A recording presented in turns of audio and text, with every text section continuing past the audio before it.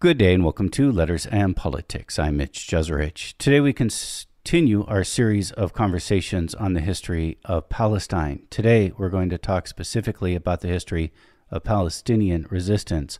My guest for this is Ilan Pappé. Ilan Pappé is a professor of history and director of the European Center for Palestine Studies at the University of Exeter in the United Kingdom, and he is also the author of the book A History of Modern Palestine.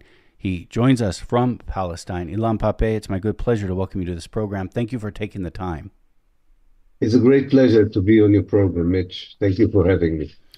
I heard the speech that you gave in Berkeley uh, just this past October, and something that really struck me uh, of many things that you said that really struck me, but but I think one thing that really hit me was that you said, despite things that happen that may be regrettable, tragic, you know, quarrel, you know, problematic, um, that that that even tugs at our, our at, at, at what we think is acceptable.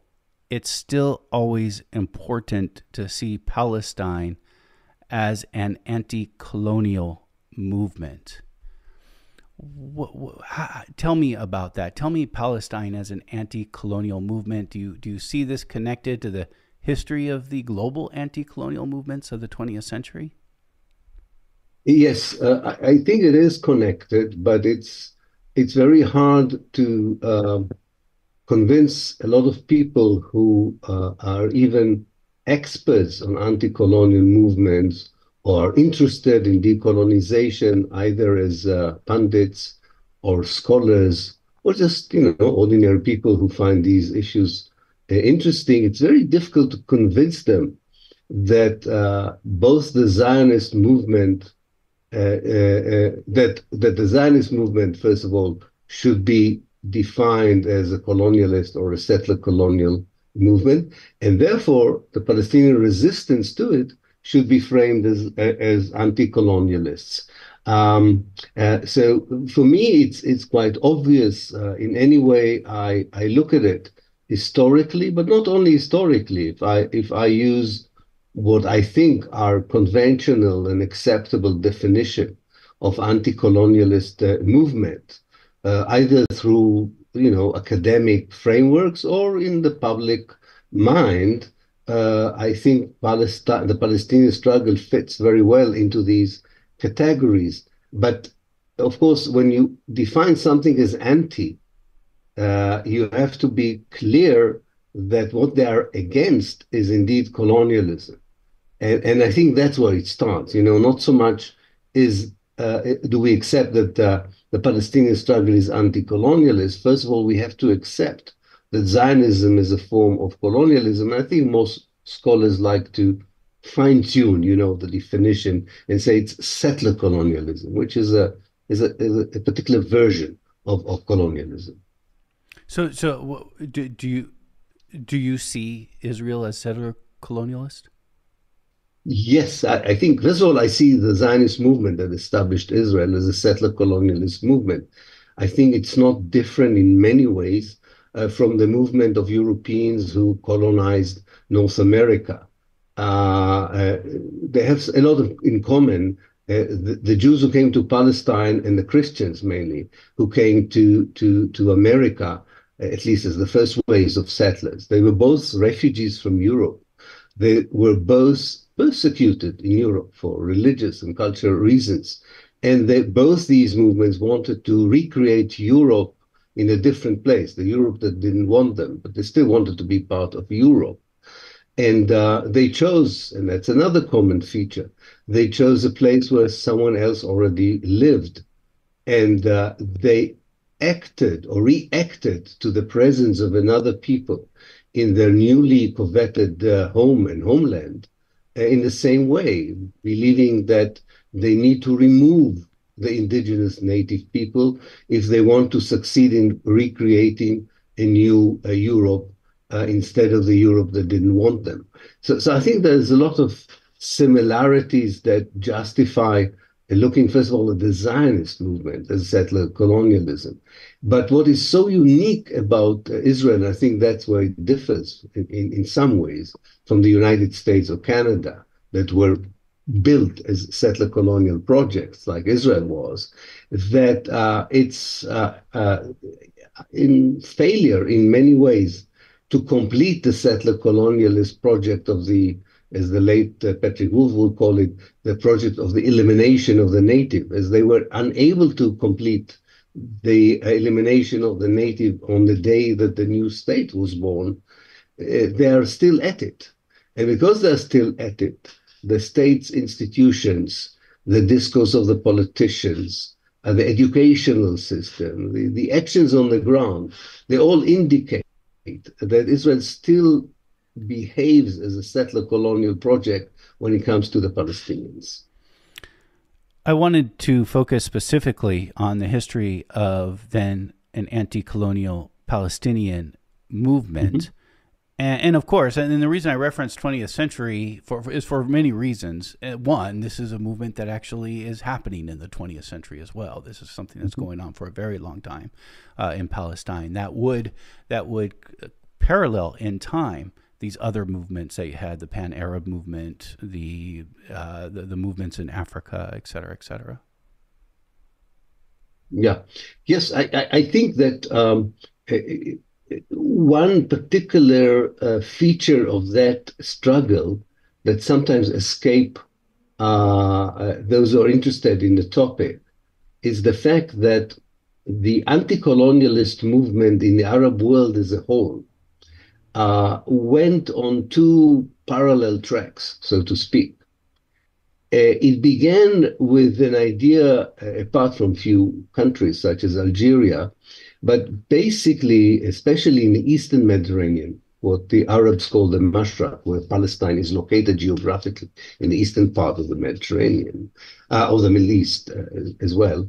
Um, in that part, uh, uh, the, initially the idea of decolonization uh, was to try and replace the European powers that came after the Ottoman rules uh, rule with a united Arab national identity, even a republic. Maybe some of them who were more religious were thinking about the caliphate. Uh, others may have thought about the kingdom rather than a republic. But the idea was that uh, there is a lot of common commonalities between the, the people who speak Arabic and have an Arabic heritage and history and belong to the Islamic civilization uh, uh to try and replace the colonial, uh, the particular colonization that occurred uh, in the Arab world, uh, especially in the eastern part of the Middle East after the uh, First World War, with a united Arab presence. However,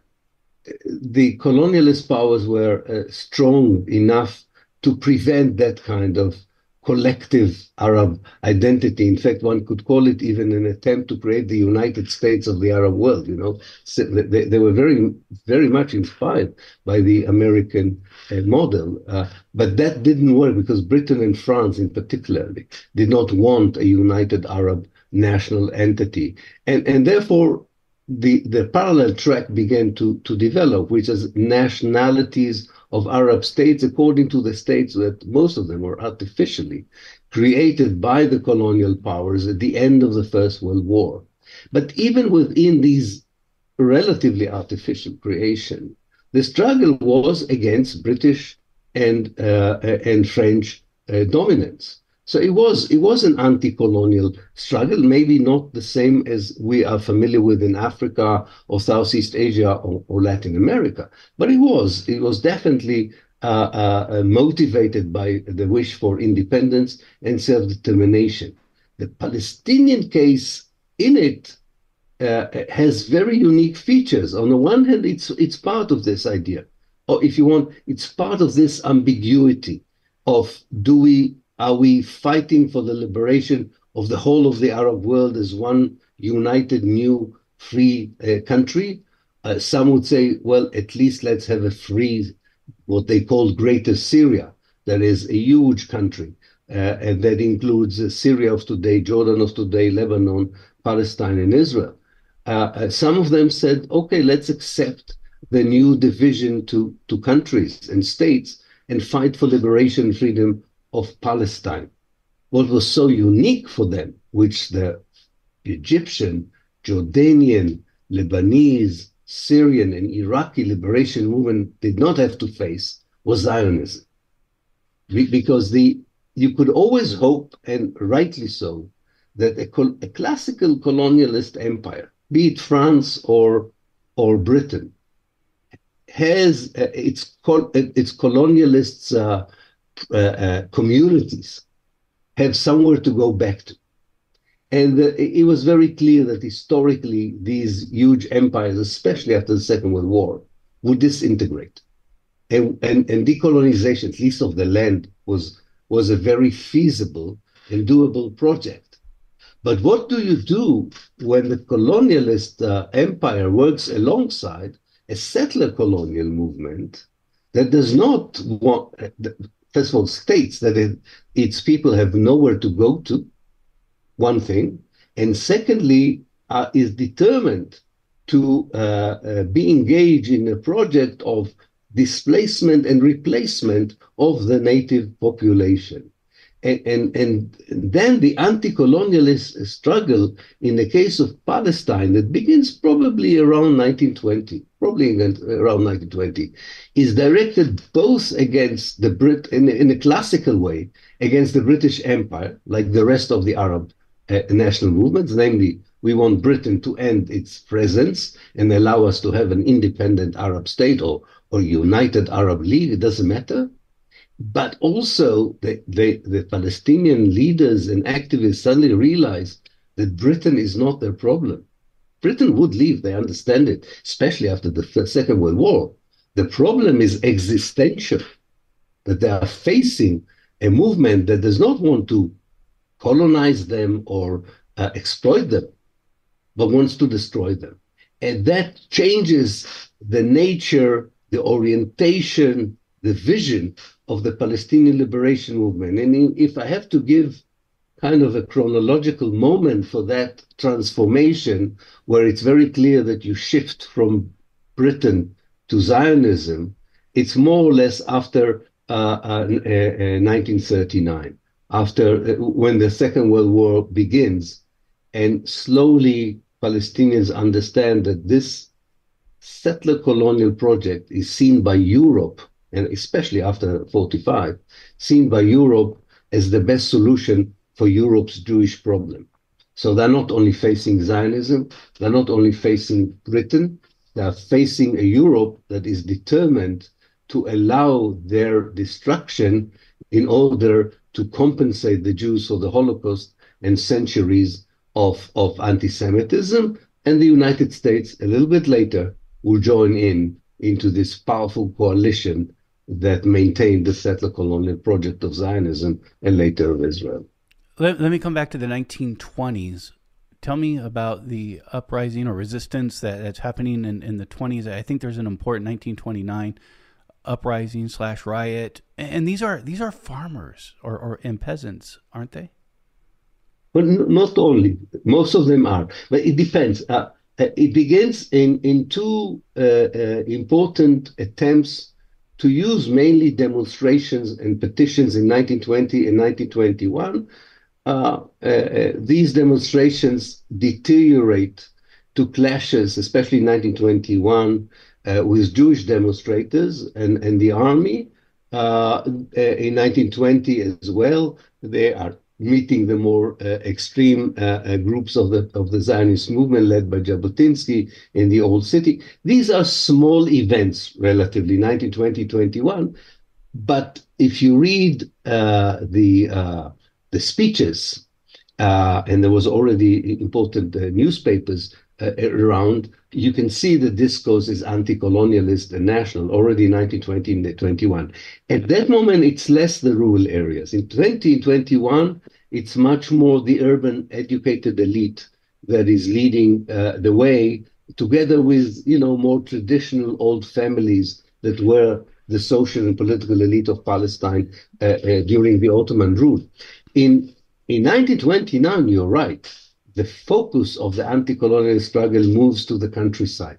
And the reason it moves to the countryside is that already three years before 1929, in 1926, was the first time that the Zionist movement purchased a sizable number of plots of lands from absentee landlords, for people who owned these lands but were not Palestinians. They lived in Beirut.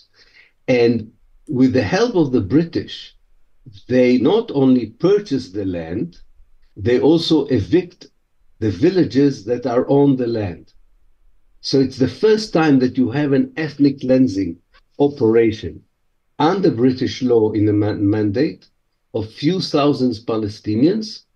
And uh, this is not only affecting the Palestinians who were evicted and had to go to, to the cities as, uh, you know, as, as, as unemployed Uh, uh, uh, workers, also without proper places to live in.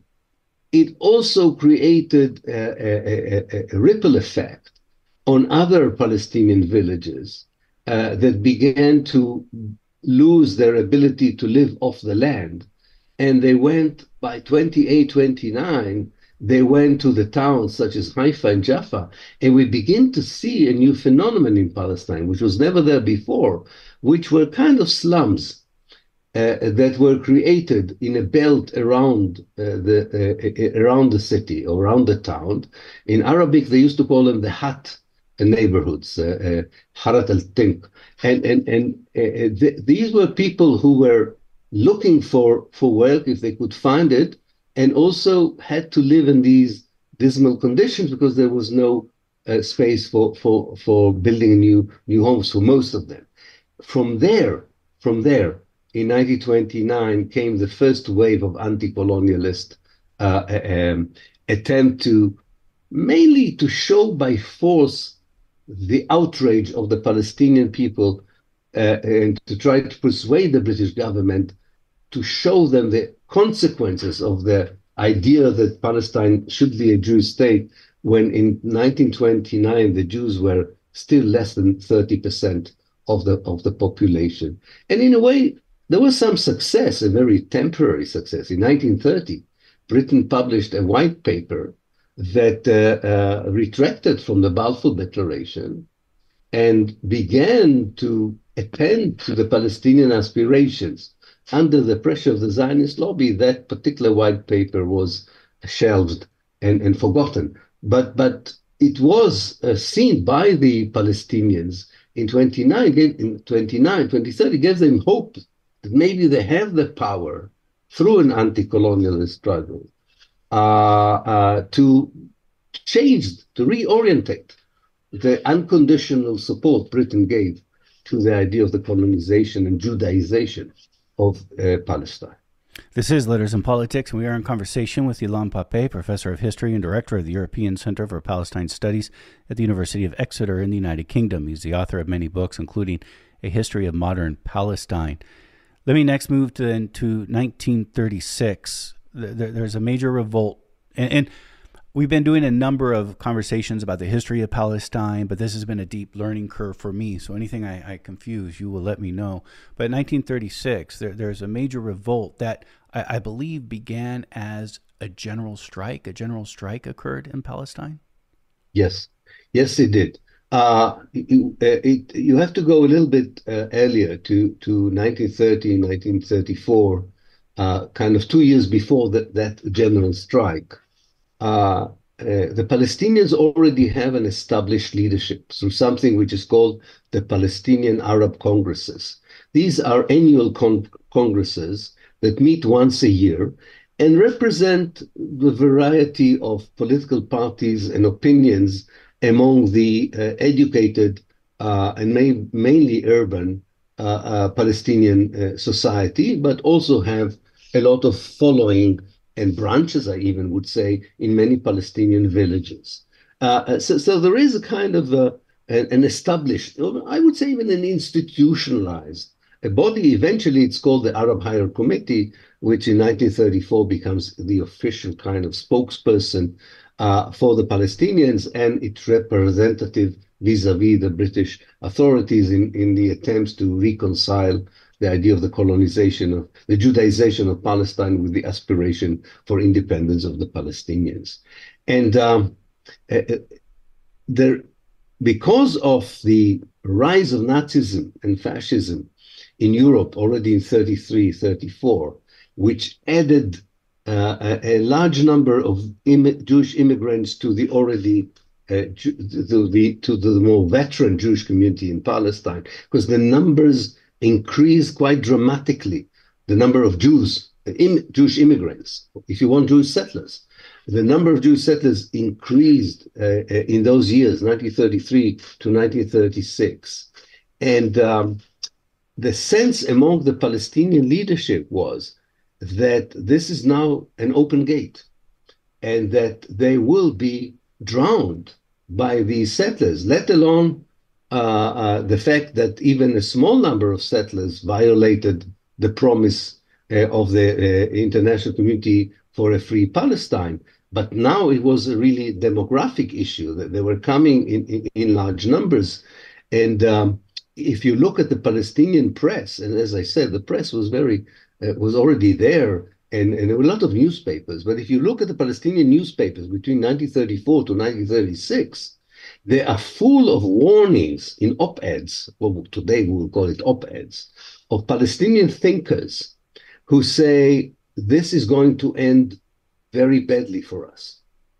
Uh, we won't be able to stop it. Britain would support it and we may lose our homeland. They're, they are really beginning to understand the potential de- existential danger that a Jewish settlement, expanded Jewish settlement in Palestine, constitutes uh, for them.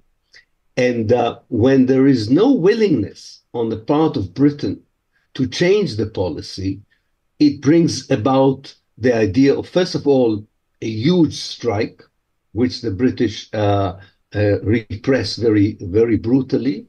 And that leads to uh, the idea to use other means in order uh, uh to push for the Palestinian uh, uh, struggle. I would have to add to this the interesting and important role of Sheikh Izz ad-Din al-Qassam, a Syrian preacher who first participated in the mid 1920s in the Syrian anti-colonialist struggle against the French uh, and was about to be sentenced to death, uh, but managed to uh, escape from Syria and settle in Haifa. And between his arrival in the late 1920s and until he was killed by the British Army in 1935, Izz ad-Din Qassam added to this uh, national liberation idea first of all, a, a, more religious content that added more zeal and commitment, but also connected it to the anti colonialist struggle in Syria and in Lebanon, in other parts of the Arab world, and led the way by saying, you know, you cannot only write in newspapers, you cannot only send petitions, you cannot only go on demonstrations. You need to learn from other anti colonialist movements there needs to be a guerrilla warfare. So he, he's in many ways the father of the Palestinian guerrilla warfare against both the British army and the, and the Jewish settlers. And he inspired, uh, you know, very uh, uh, brave uh, young Palestinians like Abdel Qadir al-Husseini, uh, uh, that is sons of, of notable families in the cities, to join him or to create their own guerrilla movements that were the backbone of the fight against the British between 1936 to 1939, which forced Britain to bring the RAF, uh, their Royal Air Force, and to use a repertoire of ruthless and brutal uh, measures of uh, uh um, uh, kind of uh, against against this kind of rebellion. in brackets, we can say that the Israelis learned from these measures that the British used against the Palestinians in 36 to 39 in all, and, and renewed them when they occupied the, the West Bank and the Gaza Strip.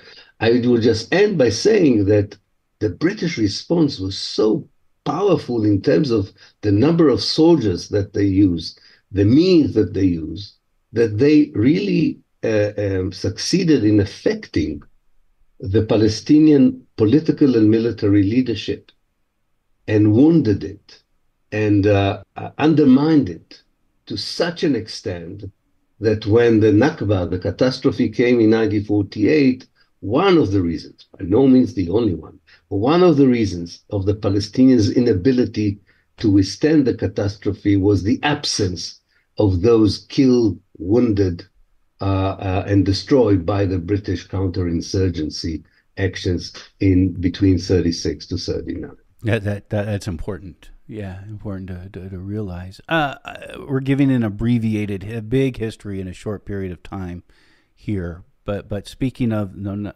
uh, the Nakba, uh, Israelis, when the Israeli state is created, is this when we get the creation of the PLO? Not yet. Not yet. In 1948, the Palestinian society was without any proper military capacity to defend itself against a very well planned and systematic program of uh, massive ethnic cleansing of the Palestinians. Uh, the, they were saved to a certain extent. When I say saved, by this I mean that only half, only in, of course, in a very cynical way, I'm saying it, only half of the Palestinian population was expelled. And not all of Palestine was occupied by the Zionist forces. As we know, the West Bank remained in Jordanian hands and the Gaza Strip in, in, in Egyptian hands.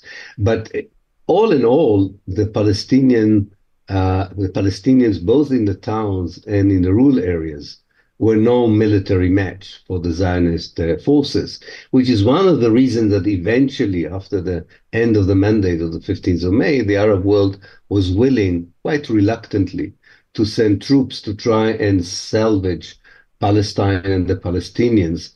And to some extent, some of its action uh, is, is a reason why Palestinians were still in Palestine in large number, why they are in Palestine in large number uh, to this very day. The PLO became, uh, it's interesting, it, it, develops a bit later. First of all, you have to understand there is, I would say, there's a decade between 48 and 1958 of a trauma, of a, of a collective traumatic period. It takes 10 years for those who see themselves as potential leaders of the Palestinian liberation movement, as major activists of the Palestinian liberation movement. It takes them 10 years to uh, recuperate from, from the catastrophe, uh, to, to get their acts together. and at the beginning, they, they try to rely once more on new kind of what seem to be progressive Arab leaderships. Remember, in the 50s, we have the beginning of the rise of progressive radical Arab regimes like uh, uh, the, in, in Egypt, in Iraq, and some other places. So at first, those who want to reawake the Palestinian national consciousness movement and, and, and, and, and struggle first rely on on these Arab countries like Egypt, uh, Syria, uh, uh, and even even on Jordan, although Jordan did not go through a, a radical or, or a progressive transformation, but nonetheless uh, uh, allowed some sort of struggle uh, from within. But then, and, and, and the height of this pan-Arab, uh, I would say, control of the Palestinian liberation struggle uh, reaches a certain peak in 1964 when the Arab League, not the Palestinians, the Arab League, the, the Pan Arab Regional Organization, establishes the PLO in Jerusalem in 1964. Um, but already in 1964, there were the beginning of serious organizations of Palestinian liberation groups who began to doubt the sincerity and the effectivity of struggling for the liberation of Palestine through Arab states through pan Arab institutions. And already in 59, one such organization, or actually officially it was established in January 64, Fatah, uh, a, a Palestinian liberation organization, is not only uh, uh, uh, independent in thinking compared to those who were working closely with the Arab states, it also decides and succeeds, especially after the failure of the Arab states, to, to win the war in June 67 to take over the PLO. Uh, and in 68, the Fatah and other groups kind of extract, in, in, it's not a bloody affair, it's a very uh, quiet and political affair, but the, the, the, Palest- the independent Palestinian organizations like the Fatah in 1968 take over from the Arab League and from, if you want, from the older Palestinian generation, the anti-colonialist struggle in 1968. And these people, most of them, first of all, grew in the refugee camps. Uh, that were created after the uh, ethnic cleansing of Palestine. What was unique about the refugee camps? That all the class differences that existed in pre 1948 Palestine disappeared. We, they were all refugees. It didn't matter whether you came from a rich family, a poor family, it all kind of disappeared. And therefore, there was a sense of, of unity that wasn't there in the older generation. Um, they were also closely connected to third world liberation movements, reading them, meeting their leaders, meeting their ideologues, uh, using their expertise and experience. Uh, and uh, we see the rise of a new PLO in 68, 69 that has a certain model for liberation that did not work, one should say. But the model of liberation and the most inspirational model, there were two of them. One was the FLN, the, uh, the, the successful Algerian liberation movement that kicked out the French in 1962. But more importantly, I think they were looking at Vietnam. They thought that maybe one of the Arab states would be, you know, North Vietnam, Hanoi, and that they would be the Viet Cong.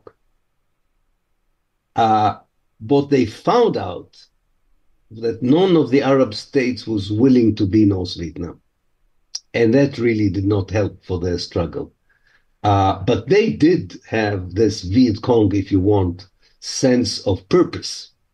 Uh, and they tried everything. They tried uh, uh hijacking aeroplanes, fighting the Israeli army, to try to galvanize and uprisings in the occupied territories. Not much of it was successful, but what was successful was that they kept the Palestinian issue alive.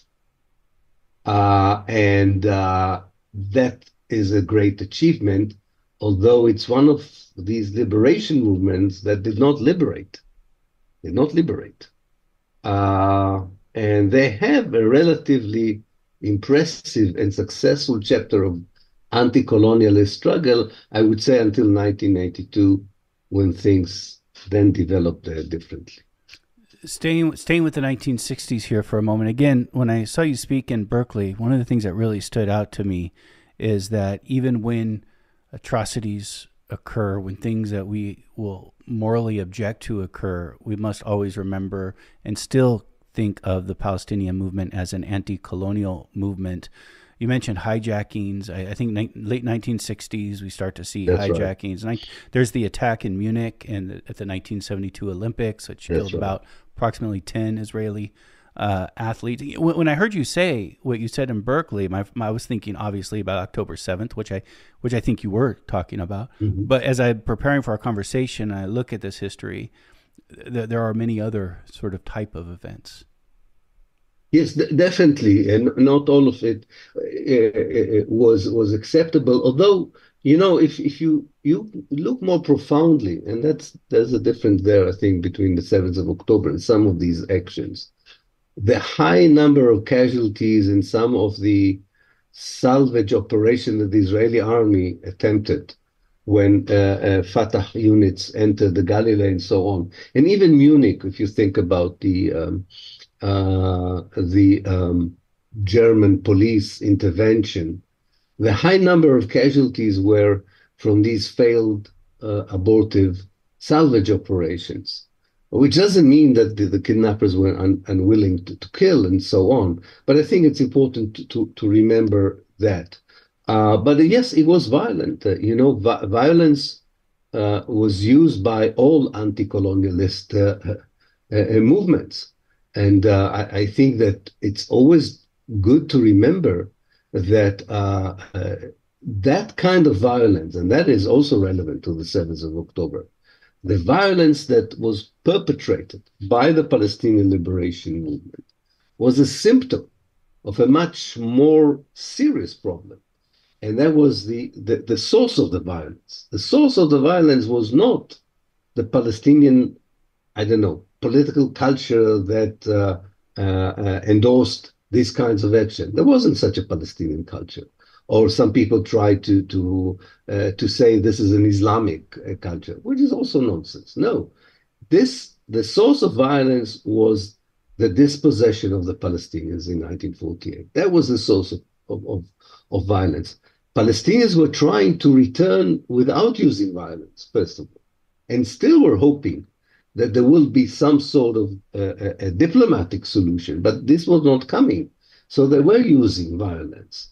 And, and, and some of the violence was direct clash with the Israeli army. And I think we all, and that's okay, that's our moral compass. I think we feel a bit different when a guerrilla uh, movement attacks an army that occupies and colonizes it, and when a guerrilla movement targets civilians.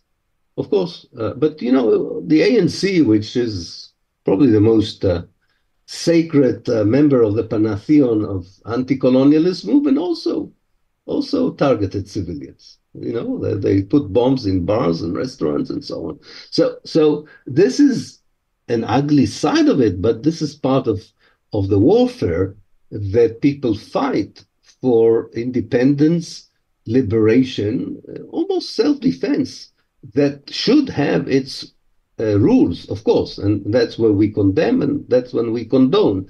Uh, but but definitely, the bigger picture is of uh, people that were supposed to disappear in 1948 totally disappear and find a way to still be there and fight and struggle against uh, what will become the strongest army in the Middle East, supported unconditionally by the strongest superpower in the world, and enjoys an international coalition uh, uh, uh, uh in the West.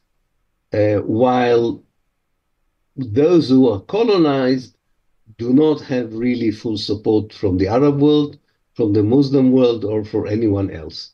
So the imbalance of power is such that, you know, the weak use sometimes weapons which the strong doesn't have to use because it has much more lethal weapons it's in its uh, possession. You, you, mentioned I don't want to put words in your mouth, so if I if I didn't hear this correctly, you'll you'll let me know. It seemed like yeah. this movement starts to lose some steam, or at least activity, in 1982, yep. and then in 1987 we get the first Intifada. What what what does Intifada mean? Yeah. Uh, first of all, let me say one sentence on 1982, and I, will go to the Intifada. It's connected in many ways. In, after the Israeli invasion uh, to Lebanon, one of the results of that invasion was the removal of the PLO, uh, uh, at least the headquarters of the PLO, from Beirut to Tunis. And that weakens very much uh, uh, the, the national struggle and the liberation struggle. It also causes dissent and rift and, and, and, and internal uh, uh, struggles that weaken the movement even uh, further. And uh, this meant that the, the occupied Palestinians in the West Bank and the Gaza Strip, it, it takes them five years, as we know, begin to understand that the PLO doesn't have the same power it may have had before 1982 to be an important part of the struggle against the, the, what is now not only a struggle for liberation, but a struggle that wants to first and foremost to end a very ruthless and harsh military occupation. And then they decided not to consult the PLO, and without the knowledge of the PLO, in 1987, they uh, decide to go on an uprising.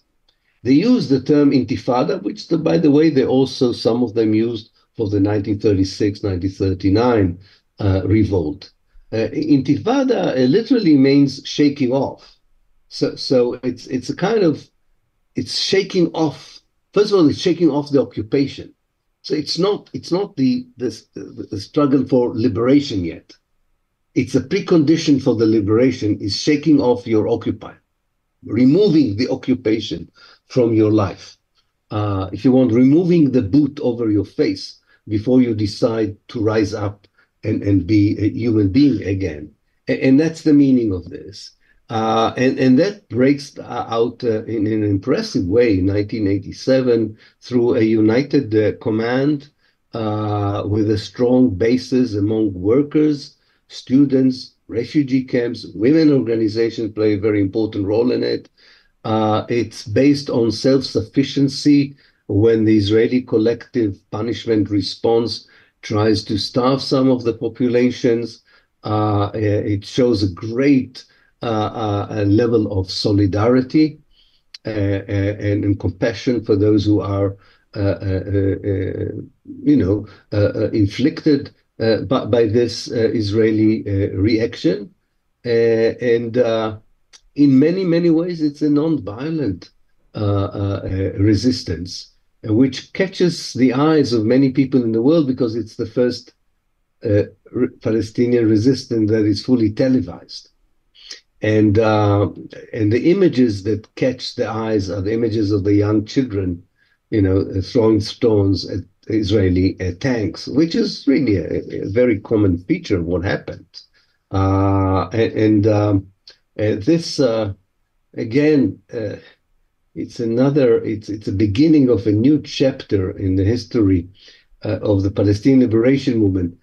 It's a success, and the sense is that okay, we we force the world, namely especially the Americans, because they are the most important peace brokers, we force them to reopen a diplomatic discussion, a serious diplomatic discussion about the future of Palestine, so that we don't have to fight anymore. You know, we fought and and we attracted the attention of those who are important. And then comes a serious, you could call it kind of a series of, of diplomatic uh, uh, illusions uh, and, and fabrications, I would say, and betrayals in many ways of the promises made to the Palestinians that said, okay, we, we, we fully sympathize with you and you will be rewarded with the end of occupation. The first attempt is the Madrid conference in 1991. Uh, that does not lead anywhere. And then comes the Oslo Agreement in 1993. These two events, the Madrid Conference and the Oslo Accord, were supposed to be the diplomatic reward for the uprising, the first uprising. But uh, uh, Israel has no intention whatsoever to end the occupation. The only thing that the uprising does to the Israeli mindset and strategic thinking is to look for alternative ways to replace the direct occupation with indirect uh, occupation. And that's when to the world comes the Palestinian Authority and all the particular arrangements which are associated with uh, the Oslo Agreement. That, that, we're down to our final two minutes, but that, that's why the Oslo Agreement didn't work. It didn't, yeah, because it was an Israeli ploy to replace the direct occupation with the cheaper first of all, economically cheaper option uh, of having a, a, collaborative Palestinian agency to run the affairs for them and to make sure that they mesmerize the whole process and the Palestinians would uprise again in 2000.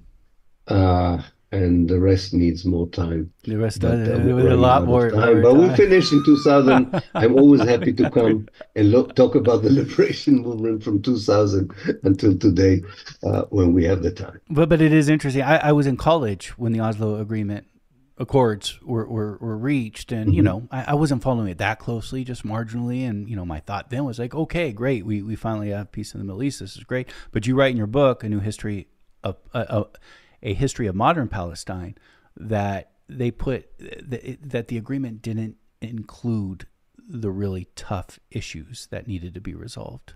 Yeah, yeah, definitely. All the outstanding issues, the refugees, the future of Jerusalem, the future of the settlements are hardly mentioned in the Oslo Accord. And when in 2000 Arafat demands that these issues would be addressed, uh, and he doesn't get a positive response, President Clinton and the Israeli Prime Minister Ehud Barak call him a warmonger. So he has nothing to lose. He goes and indeed he starts a war in 2000 uh, to try and again force the international community to take a more reasonable approach.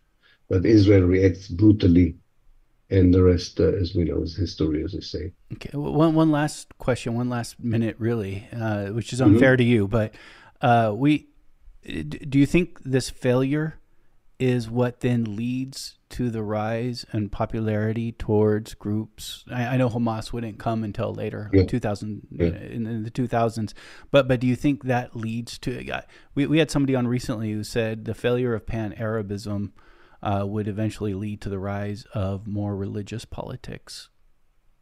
I think it's a bit more complex. First of all, the Hamas was founded in 1988 namely already right, that's right, uh, yeah. during the first. I, I was thinking when they were elected. That's right. Yeah, yeah. The first, yeah. It's a bit more complex. It's uh, the rise of political Islam, and Hamas is part of a general phenomenon of political Islam, has to do with the crisis in modernity in the Arab world. The modern secular ideological movements failed to cater for the needs of people, did not uh, were not able to deliver on the promises of liberation, economic justice, and so on. So people were trying something else and, and gave a chance to political Islamic movement, even if not all of them supported the whole theological vision that these movements had. And I think that's the reason for that popularity. Uh, but of course, the, the moment uh, uh, peace efforts are exposed as Israeli ploys to, to continue the occupation, movements that suggest to re, renew the armed struggle are becoming more popular. That, that makes a lot of sense to me that this is the case. Namely, the moment you will have a genuine attempt by the international community to allow for a genuine reconciliation, I think these movements will become more politicized, less militarized, and less popular as well. Ilan Pappé, Thank you very much. Thank you very much, Mitch. Thank Ilan Pappé has been our guest, again, professor of history and director of the European Center for Palestine Studies at the University of Exeter, United Kingdom, and author of many books. His latest, A History of Modern Palestine.